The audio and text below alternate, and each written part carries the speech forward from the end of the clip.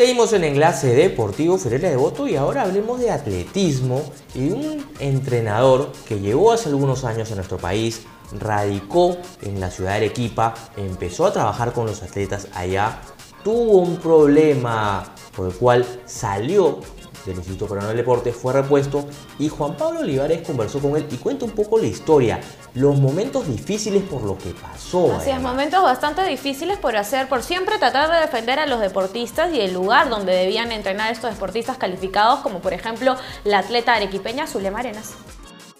Para muchos el nombre de Julio Pérez no es familiar e incluso extraño.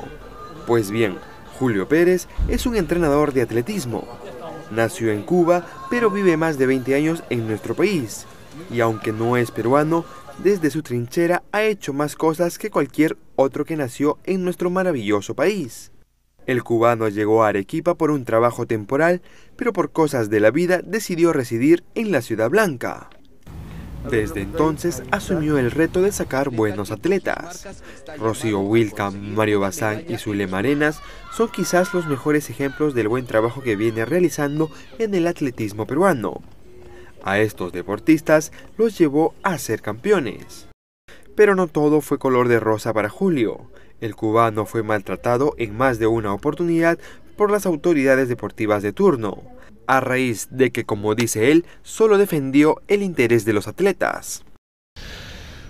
El peruano es así y lo que hay es que guiarlo, hay que trabajar y, que el apoyo no le falte, sinceramente. Ya las otras cosas han sido personales,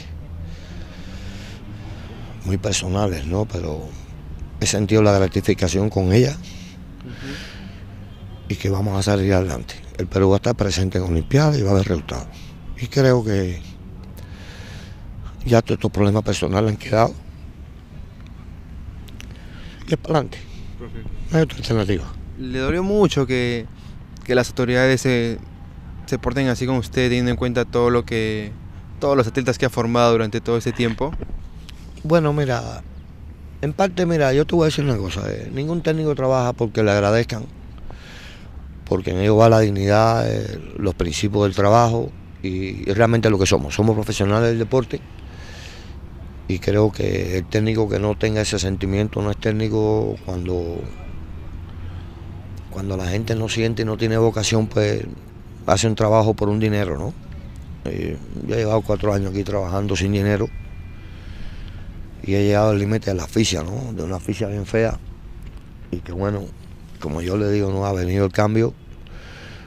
Este, la injusticia, bueno, prácticamente se ha sanado después de un juicio largo.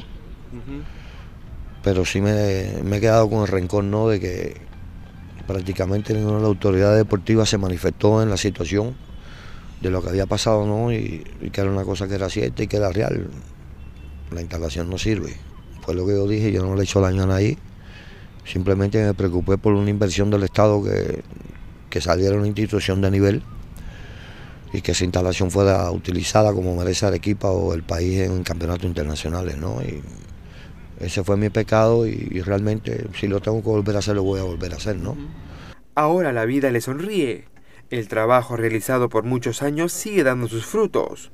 Su engreída Zulema Arenas se consagró campeona panamericana y él volverá a recibir un sueldo por parte del IPD desde el mes de septiembre. Eh, yo soy peruano, yo vivo en el Perú, casi llevo 20 años acá y yo del Perú no me voy a ir por, por ningún dirigente que crea que él es dueño de una institución o dueño de, algo. Aquí los dirigentes vienen a administrar lo que es del Estado, a darle la posibilidad y, cumplir con la responsabilidad para lo que el Estado lo ha nombrado. Y desgraciadamente, bueno, en ese periodo que las cosas fueron bien feas, se destruyeron muchas cosas que estaban hechas. Y bueno, me tocó pagar el pato y, yo no me arrepiento nada de lo que, de lo que yo dije y es verdad que el último año ha sido bien duro. He tenido que desprenderme de propiedades personales, de mi vehículo de trabajo y nunca se me ha quitado eso de trabajar, incluso en este periodo, en este macrociclo olímpico que hemos terminado, mi área fue al sudamericano, fue al panamericano, fue a todos los mundiales, de menores, de juveniles y de mayores, estuvo presente en los Juegos Panamericanos y fue a la Olimpiada. Es decir, a mí no me ha hecho mella ni me va a hacer mella nada. Yo creo que la dignidad no se cambia por dinero y el amor que yo le tengo a mi deporte, pues creo que está por encima de las cosas y que la justicia tarda pero llega y que realmente llegó, ¿no? Llegó y lo único que nos queda es borrón y cuenta nueva y empezar a trabajar porque esas personas ni existen. Se les olvida que bueno, vienen a cumplir una función de paso y que desgraciadamente es una lástima que hayan hecho tanto daño, ¿no? Y que sean daños irreparables porque ahorita esa instalación no sirve y bueno, el daño que me hicieron a mí no creo que tenga reparación. Yo creo que la dignidad de un hombre no se repara.